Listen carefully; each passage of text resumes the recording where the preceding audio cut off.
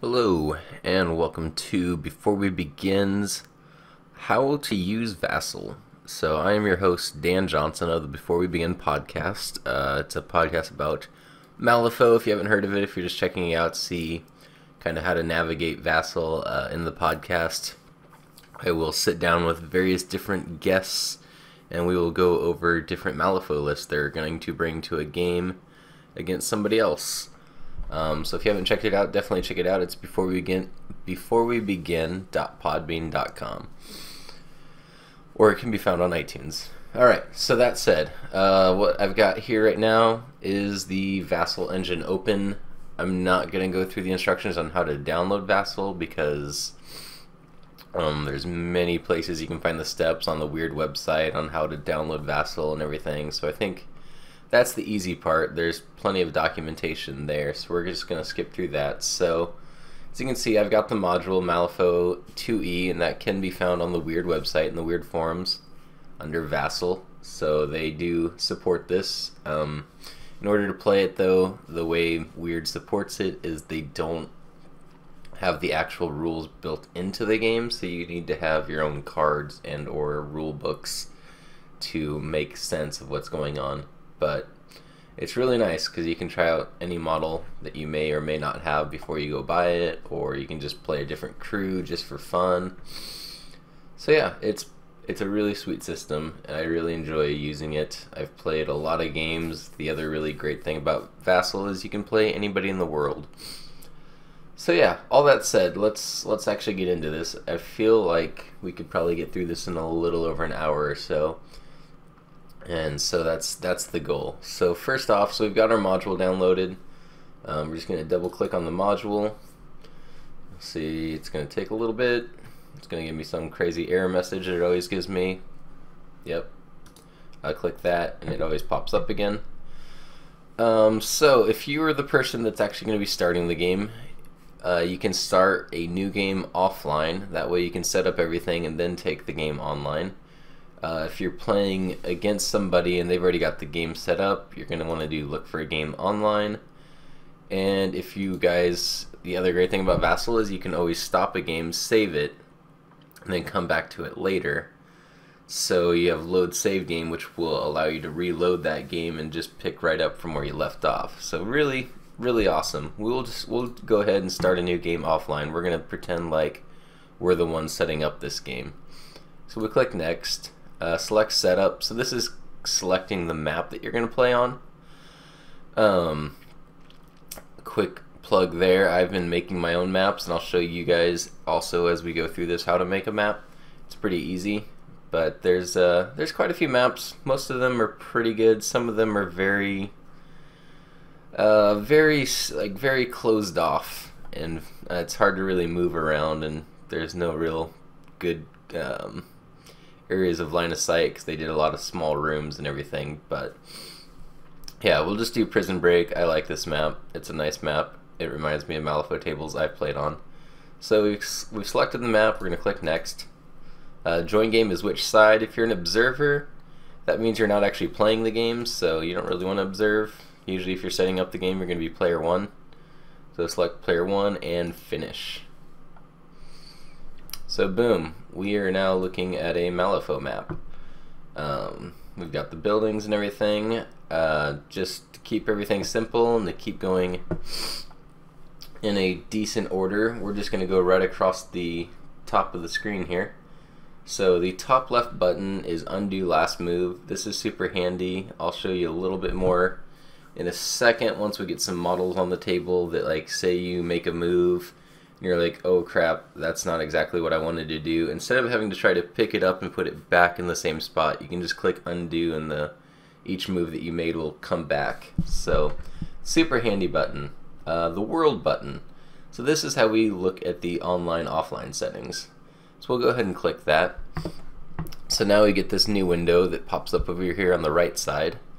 Um, we have Vassal legacy server. So this is the server that's been set up that you can freely use.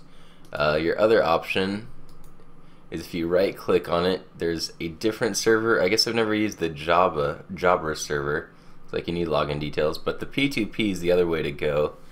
Sometimes if we're if you're having issues with the legacy server, which it hasn't recently, but back in the day there there was issues with um, desynchronizing from your opponent, so you guys would just get disconnected. You can also do P2P, which allows you guys to connect uh, to one another, and that's just like a straight you share your IP address with your buddy and pray that they're not a computer hacker.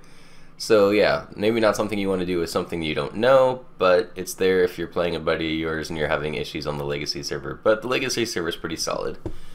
Um, you'll notice right now we've got nothing going on in our active games box. That's because we are not online at the moment. So in order to go online, we have to click the connect button. So we click the connect button, we can see now that we're in the main room. You can see a couple games going on right now. There's KV versus A. We've got Bucky. I'm guessing from uh, from the uh, Breach Boys podcast is online playing right now. Like if we really want, we can hop in here and we can take a look at their game. So we can let uh, right click join room, and now we see that our screen's going.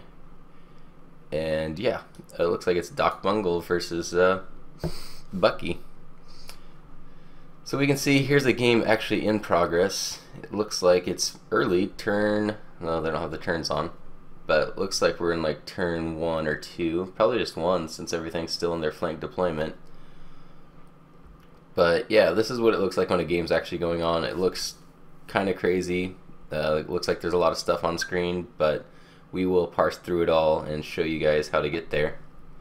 Um, I'll say hi really quick. Hi guys. You are on a vassal training video. Cheers. Laters. Alright, so we'll we'll disconnect from their game. We're not gonna disturb them and I want to be able to do stuff on the room. So in order to leave the room, uh, we can just click back into the main room. It's gonna ask us if we want to save this game because we're leaving a game and it's not finished. Well, we're just leaving a game, it always asks you. But we don't because we're not really going there. So yeah, now we've lost our map. So we'll just go to encounters up here, file encounters, and we can get our map back. So that was Prison Break. And we have to join our side again. So we're going to join as player one and finish. Oh, we're in the main room still. Okay, here's something to note um, over here, in order to make this game a real game, we're currently in the main room. We need to make our own room. So in the new game box, you're just going to name your game. So Dan's Training. Hit enter. Boom. That makes you a room. So now when your buddy or if your buddy set up the game, you'll see the folder here. Um, you can lock the room so that way not just anybody can hop in, but haven't had too big an issue. There's not a hundred or so people just chilling in here looking for games. But if you are just looking for a game, there actually is this handy little exclamation point you can click that says, "Hey, I'm looking for a game." Um, you've got away from keyboard, just in case you're not talking on Skype or some other chat device to let your opponent know that you've left. And then we've got the last three buttons of the window. We've got check messages, post message, and display server connections for all modules. To be totally honest, I don't think I've ever really used these five keys ever. Because normally I'll set up a game on Twitter or the forums or Facebook and then we'll just meet on at a certain time so I don't ever have to look for a game. And like I said, I don't think there's a ton of people out there playing all the time. So I think, uh, yeah, I don't, I don't know how successful you'd be if you sat in the main room for a while with looking for a game. But you can try it. Let me know. Um, but yeah, we won't be online for this. I don't need people popping in. So we'll go ahead and click this button, which is the disconnect. And now we're back offline again. So nobody can see us doing doing our thing here, going through our training. So yeah, that's basically it. Um, the big the big buttons to know is this to connect. Type in a name for your game so that way you get your own room. And then yeah, if you need to disconnect or if you're having issues with the server, you just right click and you can do P2P if you know the person you're playing with. But yeah, that's pretty much all you need there. Um, so we'll just click the world again and make that disappear. Um, we'll go to the map button. I'm not exactly sure what this is supposed to do. We'll watch it, and it puts water on the map. So now it's a flooded one, and I'm not exactly sure what that's all about. To be totally honest, I've never clicked it until I started looking through these buttons, so I'd know what what to do as I explain them. So yeah, we're not going to play on a flooded map because that would be that'd be really slow. But you could do it, I suppose. Alright, now the big one, objects.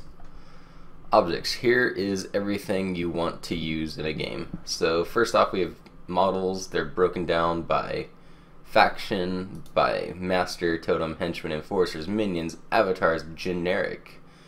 So yeah, everything's there. All you have to do, we're going to make this a little bit smaller.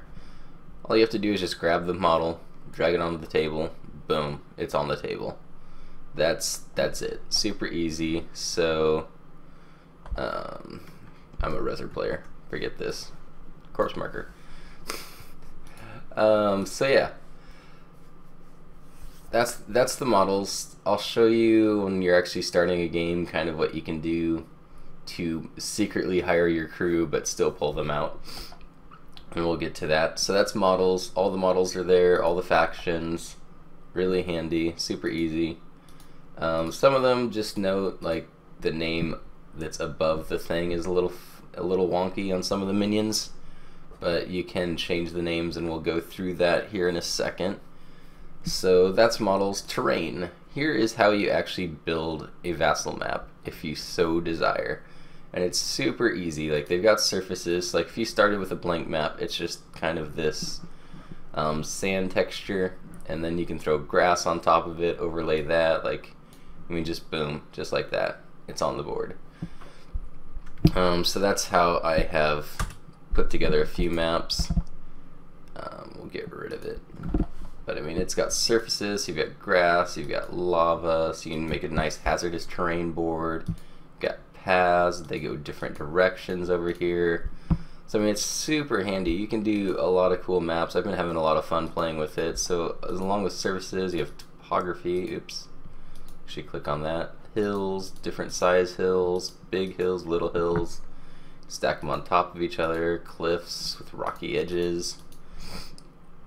I mean, pretty much everything. Pretty self-explanatory. You've got scatter terrain, miscellaneous terrain markers. So let's just talk about terrain markers really quick. So we've got soft cover. So we notice this soft cover terrain marker is clear. It's kind of a white one. So that means any of those those height markers, so like this number 2 right here on this hill, says that you get soft cover from this hill. It's denoting that it's height 2, and that's the soft cover if you're getting cover from the hill, if somebody's trying to shoot you around the hill. Um, hard cover is the black circle, so that's kind of on these fences here. You see that it's hard cover. So it like it's really nice. Vassal actually, if the map is done correctly, the map defines all the terrain for you. Obscuring terrain, which would be dense terrain, technically in this edition. So you see those are the green ones, and those are all on the plants and everything. So you can play all of that as dense, severe terrain. Uh, hazardous, which we don't have on the map, um, but it comes out red. And I'm just going to show you something here. Uh, it says one, two, three but if you're a true Malifaux player, you know that it should be 124. So we can go into change label, um, ignore all the coding part, and just see that 123. You can just change that to a 4, hit enter. Now it's damage 124. Super easy. Again, like on this, to go to the next number to make it different heights, you can just go N to make the numbers bigger, B to make them smaller for the height, the height bubbles, um, you can clone it, so if you're making a bunch of them, you only have to do that one one time, so that just clones, makes another one, or you can control C for the shortcut, makes another one. So you can go through and make stuff pretty quick. Um, you'll notice I can't click on it now. It is terrain, and so the system says that if terrain is placed down, you can't click and reselect it, so that way while you're playing and moving models around, you're not accidentally moving the terrain. So we have to do is hold shift and click on it and now it's selectable again and we'll just get rid of them all because that's not actually there so that control D shift click control D and they're all gone Um, and then impassable. So impassable and vassal. It's kind of weird because it's a top-down flat view. But apparently if it's a black X, that means that it's of a height that can't be landed on. Or there's just some reason you can't land a model on it. So yeah, I always discuss that. Like we've, there's a few maps that have it looks like silos that you're not allowed that say they're impassable. So we just play them as infinitely high, so that there's nothing that can land on it. Like you can't fly up to it, since it has the X on it. But yeah, like this map is pretty self-explanatory. You've got height three hardcover walls. These uh, these check marks we played as like bars because it kind of looks like bars. Same with the dots on this building. Those are windows. This is the doorway since it's got the wood panel, doorway in the back. Um, yeah, I mean, it's pretty self-explanatory when you look at the map. Um, we'll play around with that a little bit because we can see the different levels using some buttons, but we're just going to move through left to right across the screen. So yeah, so that's terrain. That's how you build your own map, or you can even just use the terrain markers to maybe label some of the terrain before the game starts since like this this isn't really labeled over here. This building hasn't been labeled at all so we're not really sure the height or this building. I don't know I think it has. So really quick on the left side here you've got your like little control like how many soul stones what turn it is. Uh, the up and down buttons go up levels and down levels for the buildings so as you see that I clicked on that now we see the roof of these buildings. Um, it looks like it's grayed out, so that's as high as we can go. No, there's a double one. Let me click the double one.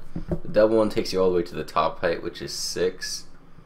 And then over here you can actually see there's a top to it. As I click the down button, you'll see those all disappear again. That takes us all the way down.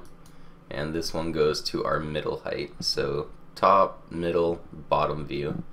That's how those three buttons work. And that's one thing you'll have to do when we pull out a model, I'll show you like we'll do auras on a model so that way we know what what level they're on since I mean you're just gonna put the model here. Is he on top of the building or is he inside the building? It just depends on how you're viewing it. It's not actually gonna sit on top. So like if we were looking at a model that's sitting on top of this building let's just grab a model.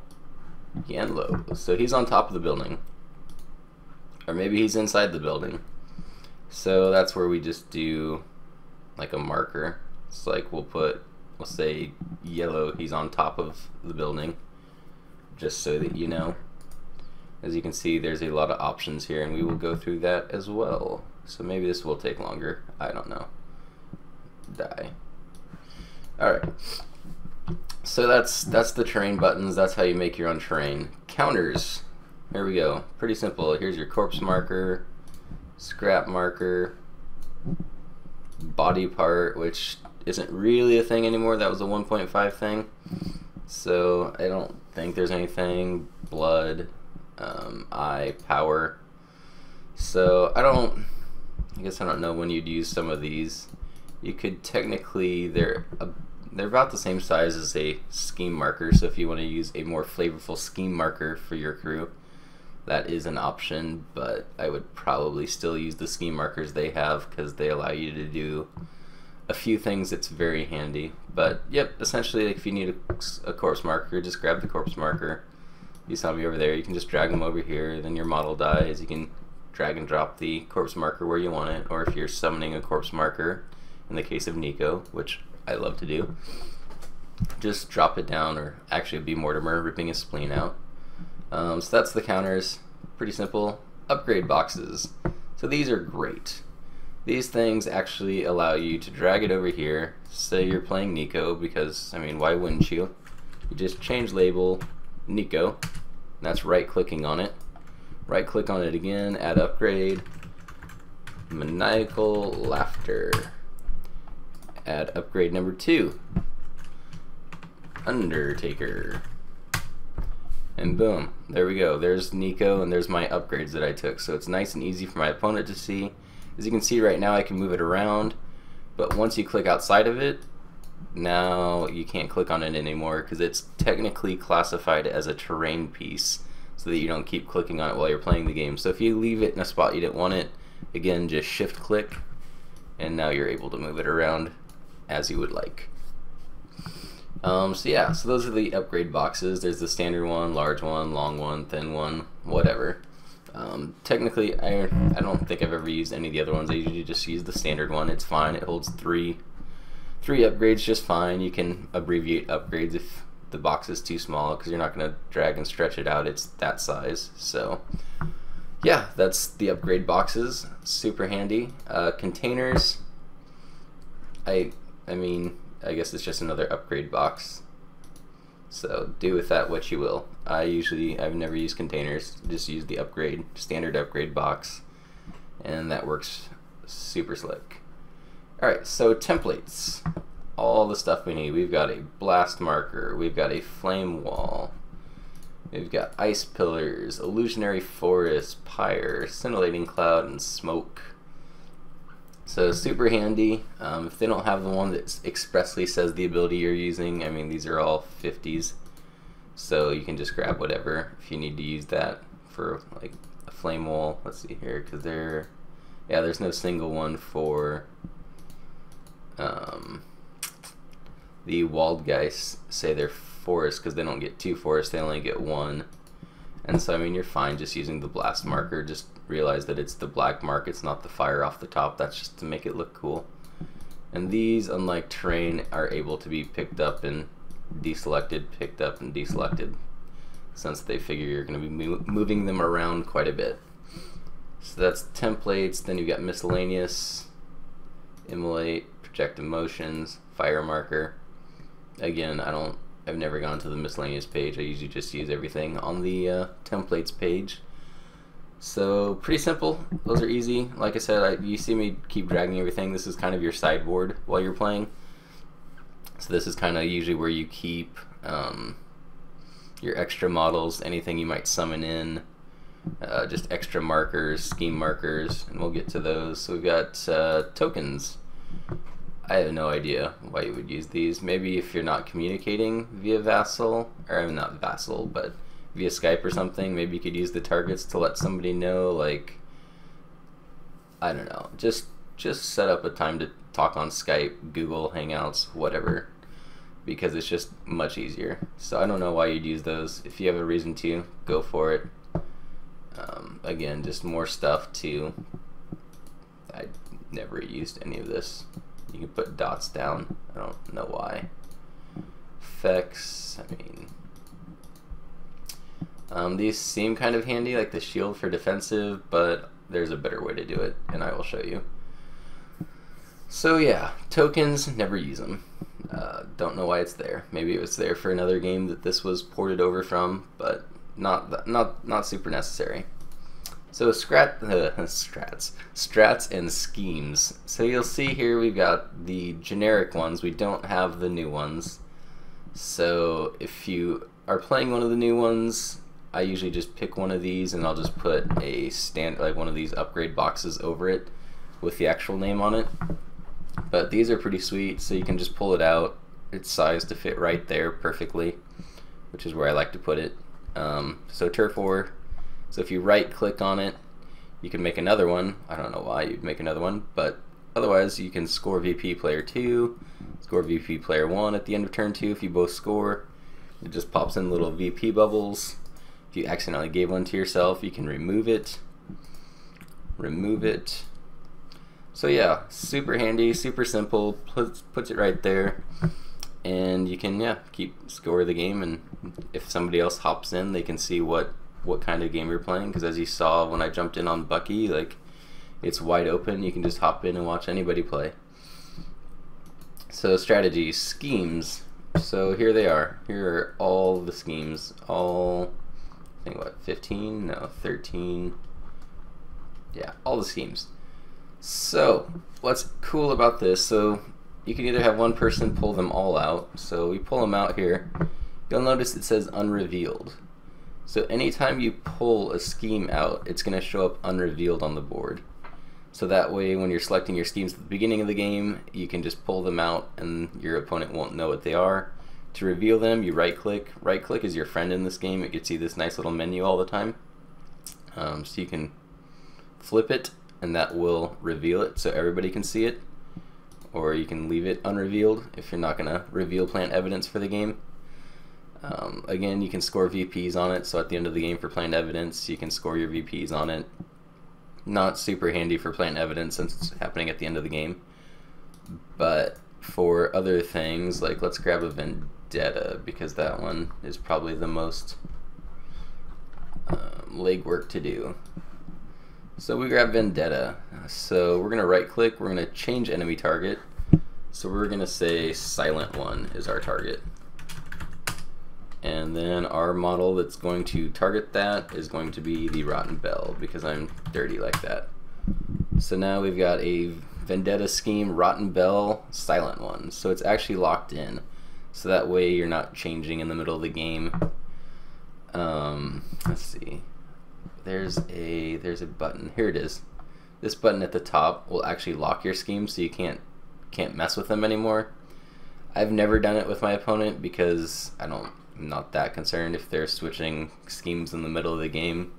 I guess good on them, but it's there. If you're if you're really serious and you really want to make sure nobody can touch their schemes, you can click the lock schemes button, they can no longer be um, touched or dealt with. You can't change your targets or anything once that button's clicked. Um, but yeah, so I mean it's pretty simple. You throw out your markers, and it's like say like you scored your vendetta, so you're gonna flip it to reveal it. You'll score your one for making your first attack against the silent one, and then boom, you just wait. And if you eliminate the target, then you can score your other two. Well, one if it's just uh, yeah, that's that's part of the game. Anyways, that's that's the schemes and strategies. They're all in there. It's super easy to get them. You just pull them out, put them on there. Usually, like so, one person will have like the top side, the other person will have the bottom side, and you'll just have them there. It's like right now, it'll like my opponent will be able to see that I have Vendetta revealed, but they won't be able to see that my plant evidence is also my other scheme. So super handy, super quick, very nice. Like I said, the only bad thing is we don't have the new strats yet, but it's you know, it's not a big deal. You just make a text box and put that over there. Um, so schemes and faction schemes, which yeah, I can unless you're playing a, I you can play a story campaign, and not a campaign, but a story mission, and then actually use these. I don't know if these. Well, it's got gremlins. It should. I guess it should be for M2E. So yeah, I don't. I've usually only just played standard Malifaux games, so never had a reason, but you do have the ability, and again, it comes in unrevealed. So, yeah, kind of cool. And delete. And objectives. So here's that scheme marker I was talking about. Uh, it's super handy. So you're like, oh, but hey, it's gray. Isn't that going to be confusing with my opponent?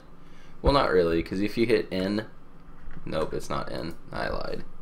Uh, let's see here, rim, control N. I was so close. Control N or control B. You can see that it changes the color of the scheme marker. So there's pretty much a color for every faction. So I'm going Rezzer, so I'll have a green scheme marker.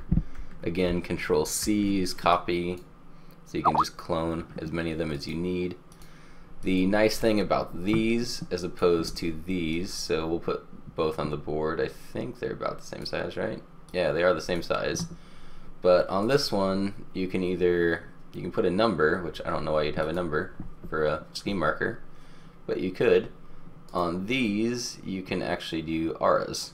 So if you're like, um, what's four inches away from this scheme marker? So it has to be outside this bubble. Super handy. The quick way to do that is control and the number of the aura you want. So control 4 does a 4 inch one, control 2 does a 2 inch one, Control 0 does the 10 inch one. And then uh, Control F1, F2, F3, and as you see, they get bigger and bigger. F1, F2, and F3, that's 11, 12, and 13, all the way on up. I don't. I guess I don't know the. Can you do a Control F8? Yep. There you go. There's there's the range of lure. If you've never seen it on a board before, that's how far lure goes. Be offended. Um. So yeah, so that's the ski markers. So very easy. You just have you usually grab a couple before the game starts. So that way, even if you're not taking a ski marker strategy, you can kind of bluff it and just drop it in next to whatever model you want. These will always be selectable to pick up, so be careful when you're clicking. Uh, you can also use shift and the arrows to like nudge it a little bit. So if you're having a hard time dropping it right into base contact or right where you need it, shift and arrows will nudge it around a little bit. So you can just nestle it right in there. So like you can just nestle that right in there so it's not actually touching the wall, but it's where we want it to be for that plant evidence. Um, so that's the scheme marker. There's a claim marker, which um, when you're playing stake a claim, that would be your go-to marker. And again, I'm pretty sure we can change the, yep, we can change the colors on those, so you can make those the colors. Squat markers for squatters' rights. Again, you can change the color of it, so when you claim it, you can change it to your color. And the turf war marker, which, I mean, really, these are all the same thing with a different picture. Because again, you can change that. But the nice thing here is you can throw it on the middle of the table. Let's find the middle of the table. There's the middle of the table. King of the hill. There's the six inch bubble that you need to be inside of. So super handy. It's it's really nice Vassal with all these nice little auras that you can throw on. Can kind of help speed up a game a little bit just because you're not spending all the time measuring to see if you're in range or consulting and saying, hey, do I have range to that guy? Because, I mean, you just throw the aura on and you can see if the aura hits the person or not. So yeah, we'll turn that off and we will declutter our board a little bit. Uh, we'll leave the turf mark turf war since we uh, says we're playing a turf war game. So yeah, that's all the objectives, the standard objectives. Story and terrain, so I mean they have it, the ancient monument, book, carcass, dead zone, hanging tree. It's all in there. So if there's like I said, I guess if you want to play those story missions, it is very viable. Um yeah, so that's objectives. Manifestation. This would be for if you're playing with avatars, which now will only be available in a campaign, but they were built in just in case it was going to be a thing. So that's all those are, so those won't really be used. So yeah, that pretty much takes us through all those tabs. The objects tab, the objects bar. Um, so let's move on to the next one. This one is choose your side. So you can either become player two, become an observer. Um, I mean, you don't use this in a game. You don't want to. it would be awkward if you switch places with your opponent in the middle of the game. But if you want to, I mean, I guess that would be an interesting variant of Malifaux. Um, switch every other turn. And then that would, I don't know, you'd have to set it up so you ended up on your side at the end of the game. It'd be kind of fun. So if somebody wants to try that sometime, let me know. Uh, but that's that. Uh, here's your cards. So it's great. You have your decks. I usually, as you can see, I'm a two minus, two minus guy. So that way it's nice and easy. The cards are still readable. Um, when the deck first pops open, it is not shuffled, so it goes black joker, red joker, and then they're all suited. So make sure before you do any flips that you right click and shuffle, or I think control S. Oh no, that's still some pool. Nope, so I just right click shuffle. I don't think there is a keyboard shortcut. So right click shuffle, right click shuffle. Um, you'll notice I can grab my opponent's deck, but don't do that because there are some abilities that allow you to manipulate your opponent's deck. But as you'll see, the thing you yelled at you, another player touch player two's deck. How dare you? So keep your hands on your own deck. Don't touch other people's decks. But yeah, uh, when you're flipping cards in the cards. There you can see that says make a straight flip. So that just flips over one card. Then you can click discard or you can drag it over to your discard pile if you've uh, a negative or a positive flip. Flips two cards. Discard those. Three cards. Discard those. Four cards. Discard those. Super easy. You see this soulstone button, so you'll see that I accidentally gave myself two soulstones. If I'm going to want to use a soulstone on a flip, I can just click this button and you'll see my two soulstones went down to one soulstone. Super handy. And then at the end of the turn, you can just click reshuffle and all of your discards go in here. And that works too, so like if I had like a hand still and um, we'll just discard all those. So if that's still in my hand at the end of the turn, I can go reshuffle then I can throw that away and hold on to those 13s. and then shuffle my deck at the end of the turn. So super easy, really nice. Um, as you can see, they say hidden, so your opponent can't see them when you're in there when they're in your hands. So when you play them out to cheat them, you have to right click and flip, and that will reveal it to your opponent. So it says Dan Johnson flipped a 13 of tomes in the actual like uh, chat window, so it kind of kind of lets you know what's going on. So if you're not sure what happened, you can always read back through that, or hopefully just talk to your opponent because that's much easier. But yeah, so that's cards. So let's see here. Nope, I can see them since I'm clicking on them. Yeah. Send to bottom. Send to bottom. So yeah, I mean that's card window. It's not super. Com yeah, I mean you can zoom in, zoom out. You can put it to a specific size.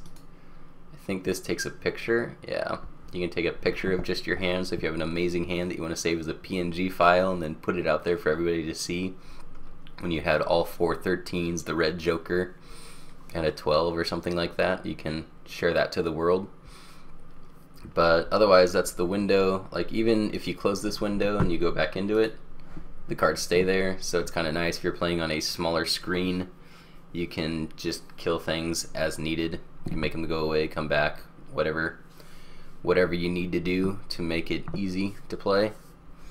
But yeah so that's cards. Super simple there. Pretty straightforward. Um, that's what those two buttons that's player one card player two cards Player one's private area.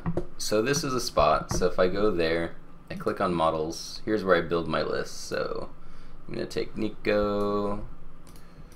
I'm to take the Vulture. I'm to take Vulture number two. I like the picture better. Because, I mean, that's what we're all about as miniature wargamers, right? I mean, it's got to look good. Mortimer. Bet. You betcha. Obviously a couple Crooligans if you listen to my show, and we're going to take two of them so we can show how you can differentiate if needed. Rotten Belle. As you can see, there's two different Rotten Belles. If I want to take two Rotten Belles and have different pictures, that way you can describe that. Alright, so not quite 50 stones, but there you go. I can put all that stuff, including my this box, I can put that in there. So as I build my crew against my opponent, I can just build it this way. And then when we're both ready to reveal, you can just go like this and drop them in. And then they're actually able to be seen. Again, we'll have to shift click on the text box to move it. And so that just drops them right in there. So super handy, super nice. You can build them, build them on the sideboard. And when you get to hire and reveal, you can just drag them out, drop them. Super slick. So, let's see, that was that. Um, if you need the cheat sheet, boom. Here's the cheat sheet for Malifaux. Everything you need to know on one card for all the basic, basic steps. Um, you can't actually interact on this. You can only see it, so you can't like fill in the soulstone pool, but you don't need that because you have a soulstone counter down here. But yeah, if you're still getting, if you're still new to the game and you just kind of need this kind of cheat sheet, it's right there. All you have to do is click on that card button. Boom, pops up. Notes. This one's nice if you're playing. It's like if you're stopping a game in the middle, you can just type in like, I have activated Nico, Mortimer, and uh, Vulture. It's my turn. Opponent, blah, blah, blah, blah, blah. You can save that. It'll stay saved in the game, so anytime you go back to notes, you can see that that's what's happened. So in case you're leaving the game and coming back later, um, you can also, if you want to keep private notes, you've got a private page, delayed, I guess I guess you could really have some fun doing some story missions. You could do some delayed revealed notes. Um, I haven't really done that. Like I've done a little bit with public notes when we've left a game. um, where if we leave a game and come back to it later, we'll just write notes on kind of what's going on. Just that way, when we get back to it, if it's maybe a week or so later, that way we can just kind of pick it right up again. So that's notes, and like I said, that's the lock button. Um, tape. So if you're going to measure something, it doesn't. I, I mean, I, I guess technically that's the player one tape. So you can measure something so you pull it out. You'll notice it says 60, but that's actually 6.0, 6.1.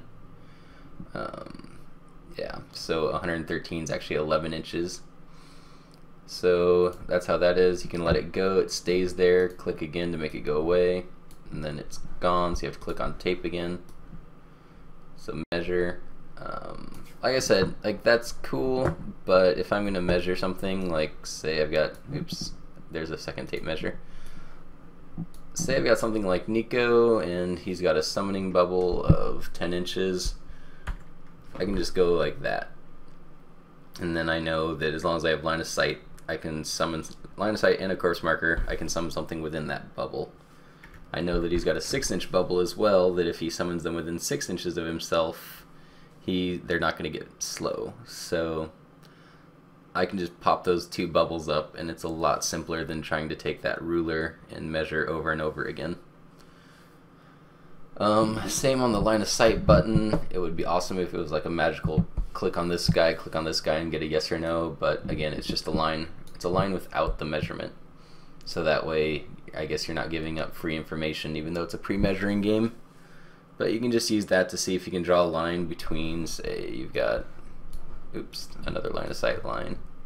We've got a Crooligan here, Crooligan there, and we've got a marker right there. So if we weren't sure, even though we can kind of see that it does go through, we can prove it to our opponent and go, see look, I've got line of sight.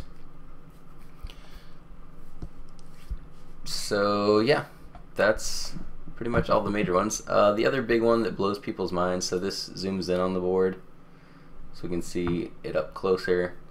Obviously, if you play it this close, this is maximum zoom. It all looks pretty big, but it's super hard to play because you're only seeing a small quarter of the table. That zooms out, that zooms out. But as you see, now it kind of gets weird. My favorite thing to do is to click the center one and go fit height. And then it actually gives you the overview, or you can do fit visible. Nah, it stayed the same. I usually play at about this height just so I can see the entire board.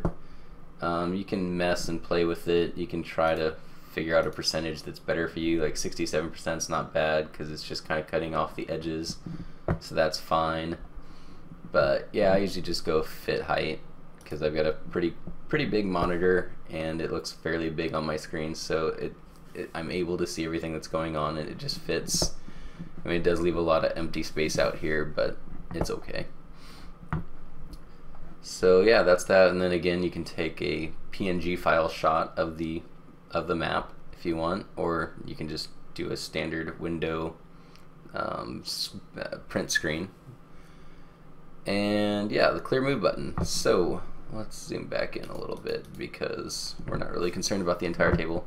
So you'll notice, ooh, not that far. You'll notice it's a little slow. Uh, so you'll see these guys right now kind of have this like whitish tinge on them.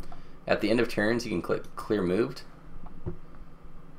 And you wait a little bit because there we go. Alright, so you'll see they all filled in now, so they're solid greens. So this is really handy. It's like you don't like I haven't used the notes recently because we actually learned to use that. So now if Nico has his turn, if he has his turn and he moves and this thing is not locked up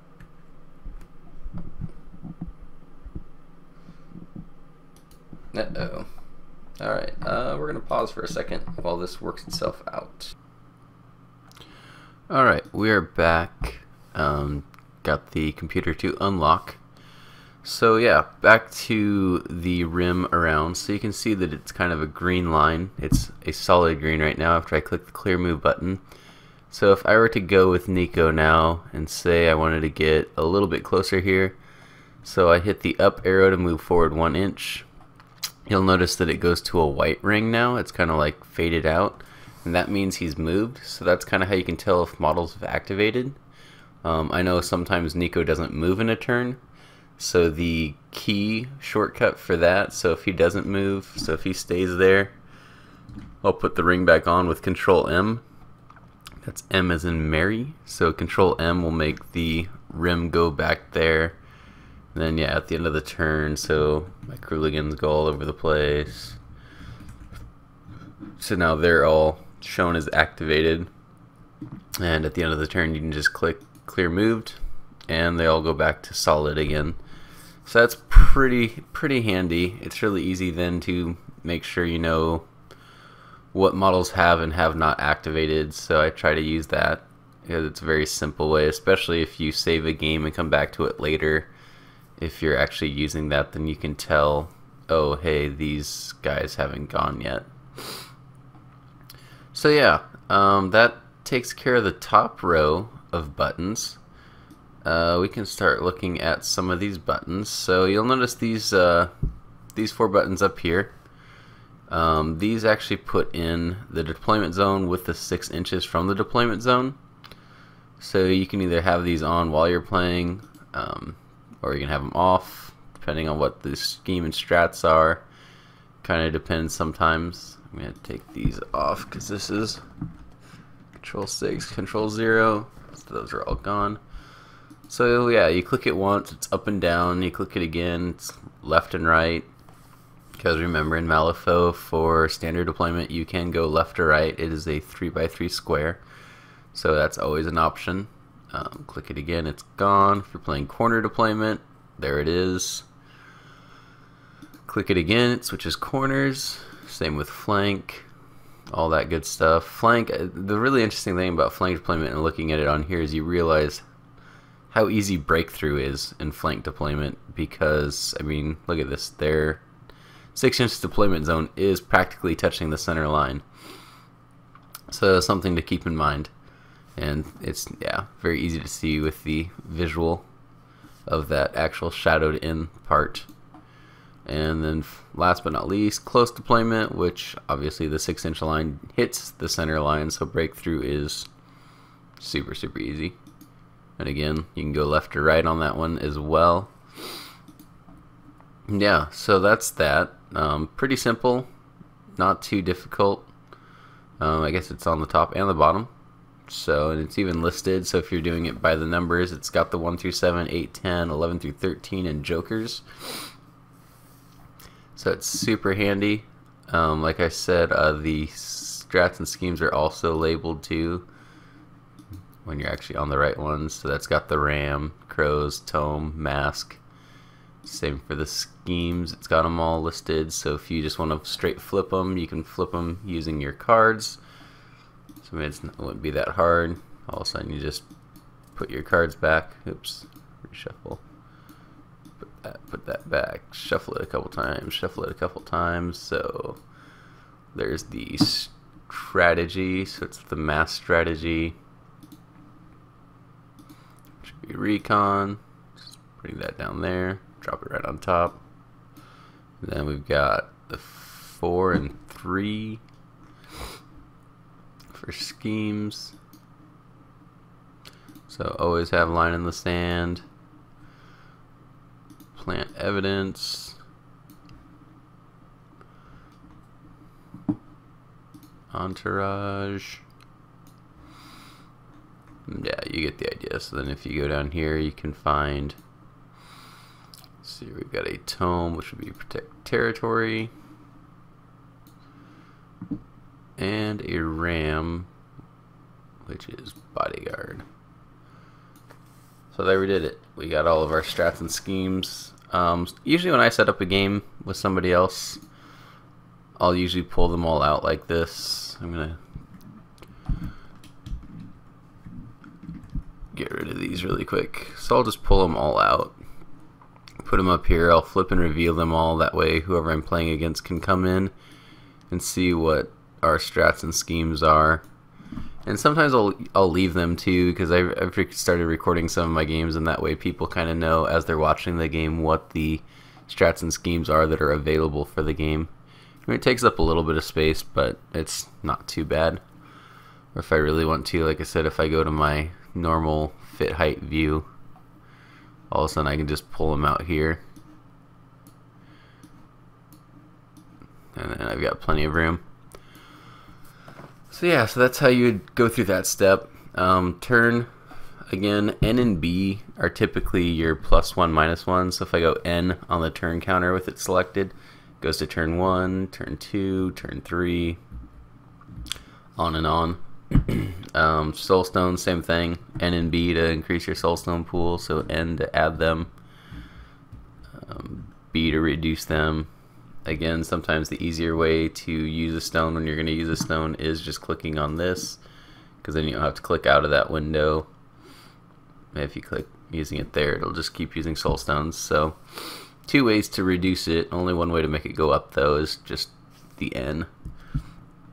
Um, yeah, you'll see if you try to uh, touch the other player's soul stones, it won't let you because you're player one, so I can't affect player two's soul stones. Um, status. I'm not sure what status does, to be totally honest with you. Um, yeah, I'm really not. I don't know that it's necessary. Um, yeah, like these buttons, I don't Oh, that gets rid of the... The house button will get rid of all the little height markers, so that's kind of annoying. Don't click that. Or if you do see all of your height markers go away, click the little house to bring them back. Um, yeah, I think that's it for that. Let's zoom back in on models. And I will kind of take you through the pertinent info for models. So normally when I play a game of Vassal, um, you can actually put the number of wounds a model has on it using N and B, because those are the magic numbers to make things go up and down. So usually before the game starts, I'll go through and have my opponent do the same and just put the total number of wounds on each model. That way, as we're playing, it's super easy to tell. You don't have to keep asking how many wounds does this thing have left, or it's like if you go up with wounds to their final total, then you're not sure how many total wounds they have. So it seems to be a lot easier if you put the total amount of wounds on it, and then as it takes wounds, you can just reduce them, reduce them, reduce them, reduce them. If they get to zero, you can control K, and that'll kill the model, and it'll leave a corpse marker, which you have to shift just a little bit since it just pops out underneath the model, and it's supposed to be um, off the base. But yeah, if I accidentally did that, I told you before we've got this nice undo button, so there it goes. It snaps the corpse marker back to the spot it should be. There it is. Just keep clicking it and it keeps moving stuff. Same thing if I had moved my crew again and I wasn't happy where it had gone. One, two, three, four, five. So if I was not happy with that move, I'm like, oh shoot, that's not where I wanted to go. Just sit here and click. It's going to take a little while because of the little turn I made. But you'll know when you're back to your original spot because your green circle is back to full again. So again, the clear move is super handy. Um, but yeah, to move your guy, so I gotta select him again. The left and right arrows will change the direction of that pointer, that little green arrow. Forward and back will move him towards and away from the arrow. So, I mean, if you're, it makes it pretty simple for just walking. Every up arrow is one inch. So that's one inch, two inch, three, four, five, and that's how far a Crooligan can walk. Um, if you want to do the Crooligan place after a scheme marker, you can just make the uh, make the five inch aura, and as you see when I grab him um, the original stays in place. I can just put him out to the 5 inch mark and then boom he just snaps right there. So super handy. Very very easy to do the 5 inch place. Don't have to measure. Don't have to use the tape measure. Just use the R's. the R's are your friend. Um, so turn that off. So that would be the Crooligan um, model. Since I have two Crooligans, I can actually change label. So right clicking on it gets you this huge menu for your models. So you can change label. So I can just name this guy Crooligan 2. So that way if I had there's no there's not frame for murder here, but there's frame for murder in the game, it would be probably better if I had a Crooligan mentioned by name if there's multiple Crooligans or just anything like that where there might be something vendetta or murder protege. Well not murder protege. You're not going to have two models that are the same model with the highest cost probably unless you do two hanged or something. But that would be mean. Why would you do that? No probably because it's awesome. But yeah so that changes title. So now you can see he's Crooligan 2 other things you can do you can clone him again. So uh, clone delete kill corpse that's the control K. Wounds, I mean, you can do it this way too, but N and B is a lot faster than clicking in here and doing that over and over again. Movement, forward, half inch, so that's control up. So if you hold control up, that's a really easy way to go through severe terrain. Uh, it'll just move you a half an inch a move. So I'll just demonstrate that really quick. So say we're about to enter this, so we'll do control one, two, three, four, five. Um, shift again, like I talked about with the scheme markers. Shift also works on models, so if you want to just nudge them small areas, that's that's the way to do that. Is just hold Shift while you're hitting any of the keys. When you're doing that on Shift, the the direction of the arrow doesn't matter. It's literally up, down, left, or right, depending on what arrow you're pushing. Because you'll notice I'm going up and down. Like if I spin him this way, I'm hitting up to go up still, down to go down, left, right. so pretty pretty easy there. So shift and controller, your friends controls a half inch movement. Shift is just the nudges, so you can nudge in behind walls and that kind of thing. Um, let's see here. Mark moved. Control M. Like I told you, you can just Control M if something doesn't move, or if say you move something because a Belle lured it, it's going to show up as moved. So then you can just control M and make it look like it hasn't been moved yet. So that's movement, rotate. Again, um, I don't know. I've never used this, but I've just always um, nudged or just the left or right. Although reading that now, I found out that you can move in shorter. So that's 10 degrees. That's 5 degrees if you hold control and do it. So the control thing's kind of cool. That's something I just learned right now. But that'd be nice when you're charging into things. Sometimes the regular move isn't quite as, as exact as you want to be for your straight line charge. So the control will make it a smaller spin before you do your charge. Um, rotate, nudge. Again, that's just the shift. It's a lot easier. Uh, melee range. So the melee range is, it's a different kind. It's alt control, and it shows up a different color for melee range. But I don't. We always just everybody that I play against, we just do control. So I mean, it's fine.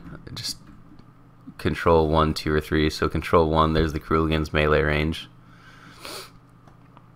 like I said, control 5, there's his place range. But yeah, I guess if you want to be fancy, the control 1, so there it goes. There's his melee range. It's a green circle instead of the white circle. Not really a big deal there, as long as everybody's aware that that's what it's standing for. So then there's the auras. That's the one that's just control and whatever, whatever number you need. Status. So here's a lot of good ones and I am working on making a nice uh, PDF. It'll probably be released in the next couple weeks because I want to make it look nice and pretty and kind of have all these keyboard shortcuts down. But uh, yeah, you'll use a lot of these. So fast, slow. So fast gives you kind of like a play triangle. He's ready to go. Slow, if you hit F again, it goes to a pause symbol. So there's fast and slow. Uh, Q the Q button puts burning on, and burning 2, burning 3, burning 4, all the way up to burning 9. so that's that. Once you get through 9, it goes to 0. Um, if you're at burning 3 and you have some reason to get rid of burning or it burns off, you can also go control Q and that'll reduce it. So that's Q. W is poison. Poison 2, poison 3. Again, for poison, definitely the control W is going to be handy since at the end of the turn, or if they're in Sebastian's induction, they're going to be reducing their poison. Um, e is, oh, is that blight? Let's see here. Status E. Yep, blight. So blight is a blood droplet. Um, looks like you can't go more than one since blight doesn't go more than one. So it's just blooded, blood or not blood. Oh wait, let me select it. Nope, there we go. Blight 3, Blight 4, Blight 5. Same thing. Um, what other statuses do we have? Focus, Shift Q. So there's your focus. Kind of looks like an eyeball. And raise that, and then it's Control Shift Q to take it down. Control Shift W. Oops. Just Control W. Ah. Shift W. There we go. Shift W is defensive. So if you can, I often see my Ceruleans wearing defensive too. If there's some place where they're just trying to hold ground. Uh, I'm going to bring him out here so it's a little bit easier. So yeah, Shift W, little shield for defensive. Take that away. So there's all the lower raise armor. Uh, shift E. So armor, kind of a metal shield. Pretty simple. But yeah, it's nice. Like if my Krogan is on fire and poisoned, that's what he's going to look like. And he has blight. And he has, oops, not that one and he has defensive. So it's pretty sweet. It just kind of goes around the circle so you can have whatever conditions on your model that you need to have on your model. Uh, we didn't do paralyzed. Where is paralyzed? Pass R. That's right. R. So R for reactivate. So the two lines means he gets to go again. He gets to fast forward. Stop key means he's paralyzed. And third click makes it all go away. So yeah, those are the statuses. It's pretty sweet. Pretty much covers everything in the game. Um, extra conditions. You have stalked, insignificant, tormented, no healing, and hemmed. So uh, we'll just put those on there. Stalked, you get a couple eyes. Insignificant switches out. What is that? I don't even know what that is, but that's insignificant. Like a little thing. I'll zoom in. You have no idea what that is. Uh, tormented.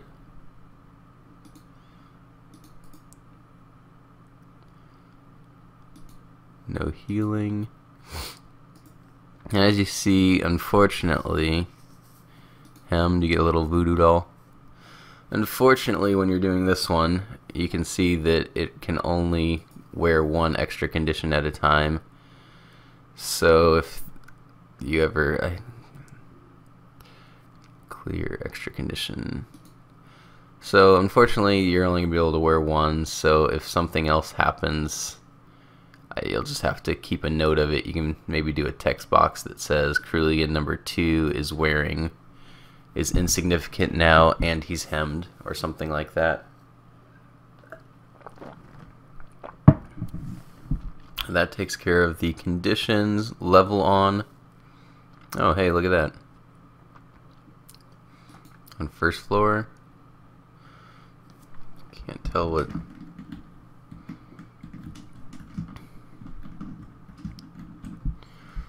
Okay, so you've got like a little down arrow for first floor. Second floor, he's in the middle. Oh, just like the uh, keys over there. Alright. I'm learning stuff while I'm teaching you guys, which is often the way it works. So there we go. That's how you can tell what level they're on. No R is needed, just uh, what level they're on. That's super handy. Level on. So we can go always show to get rid of it, I guess. So if they're just on the ground. But yeah, that's super handy. So that's level on. Markers, again, like these are that kind of marker. Um, sometimes we'll use these for extra conditions too. That's oftentimes we don't actually use the extra conditions. We'll just go, um, your guy can't be healed, so he's going to have a teal ring around him. Or this turn, um, you can't make a walk, so you're going to have a pink, pink ring. And that way we just remember throughout the turn, at the end of the turn, we can just clear it really easily with uh, off, and it just goes away. And that brings us to the last one, rims. Um, I don't, we don't really ever change these. These just change the actual rim of the model. As you can see, you can go through all the different colors for the factions, so you can change the rim color.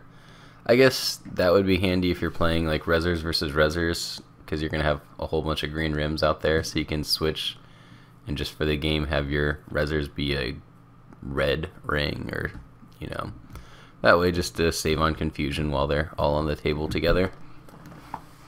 But usually it's still not too hard because you know which models are yours. But I could see maybe if you're going away for a while, just switching the rims on one side so that way you can tell who is who. But yeah, that's that's that. Let's zoom out a little bit. Um, I don't know. I might call it there because that's kind of everything. That's all the movement. Like I said, like if you've got somebody with a shooting attack, which Nico has a shooting attack, it's like mm, 10 inches, which is also his summon. You can just go like this. You can check to see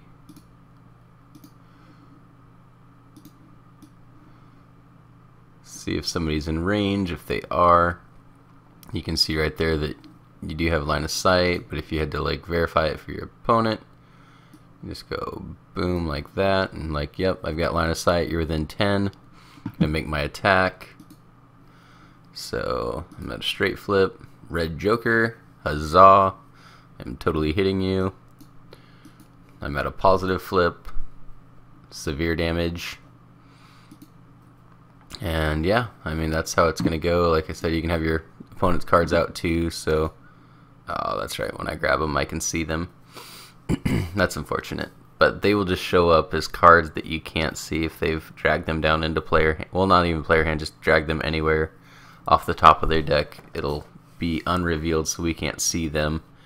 Um, anytime that the this gets clicked, it'll always come over flipped up. But like if we have it and we just pull it off the top, it's going to be hidden so our opponent's not going to know until we actually flip it.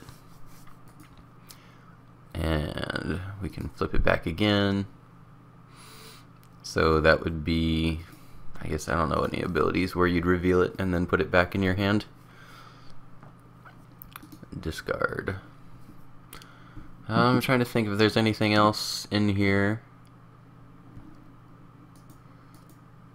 nothing clicking there oh Ironside avatar check that out boom that's handy. Nope, can't get the old one back. Undo. That's gotta be, that's, yeah, on the Masters. That's kind of cool. Learning all sorts of new stuff. Of course, those won't be available in uh, a regular game of Malifaux anymore. But yeah, I guess that's it. Um, if you want to see a game being played on Vassal. There's a couple games on my YouTube channel of me playing various opponents. One playing Panzer Harris, Beware of the Language. He's got a filthy mouth. Uh, there's another. I think there's just a couple up there. But yeah, go ahead and watch those. You can kind of see how the game plays out. Um, it's a little hard to see on the videos I've made before because I'm still kind of getting the hang of the whole uh, recording, streaming, getting everything set up so that it records in such a way so that everybody can see what's going on. But I am improving. Um, it is summertime, so I'm spending more time outside than I am inside. But I can probably guarantee come this fall, a lot more videos will be going up as it starts to rain a bunch out here and I don't want to be outside anymore. So yeah, I hope this helps anybody out there looking to get into Vassal. It's a great little system, super simple. Really, it's just getting in there and playing with it. It's pretty self-explanatory as far as all that stuff. You've got the menus if you just right-click on any of your guys. and yeah, I hope you have some fun, play some opponents you don't normally get to play, play some buddies when you can't make it to the game store, or get like that midweek game where you don't have to get together, pull out terrain and everything. You can just hop on, set it up, play it pretty quick. I found I found it. I it's it's like typical Malifaux. It depends on the opponent. You can get a game in pretty quick on here because there's a lot less measuring and kind of asking questions since you just have the wounds and everything on the models, and there's still the I mean, what's their defense? What's their willpower? But there's less like, hey, is this in range? Because you can. I mean, if Ironsides is back here, we can see that, oh yeah, she is just in the 10 inch range because it just goes over her. So yeah, it kind of eliminates some of those queries and just smooths that out. Um, yeah, if you want some other Vassal maps, I've made two other Vassal maps. Those can be found on my beforewebegin.podbean.com website. Where there's uh, saved log files, so whoever would be player one and running the game would just load the saved game, and it's just a blank map. That's they're kind of cool. I made one that's a Soulstone farm, and another that I call the Desert Desolation, and it's got a ton of hazardous terrain because hazardous terrain is very underrepresented in Malifaux. So I made one that was pretty heavy on it. But yeah, uh, check all that stuff out. Check out my podcast. Uh, it's before we begin. It can be found on iTunes, Podbean, um, any any other ways you get the Podbean catcher? There's the RSS feed on the website, so that you can plug that into your catcher. And yeah, thanks guys for checking this out, and I hope you have a good time playing some Vassal. Catch you later.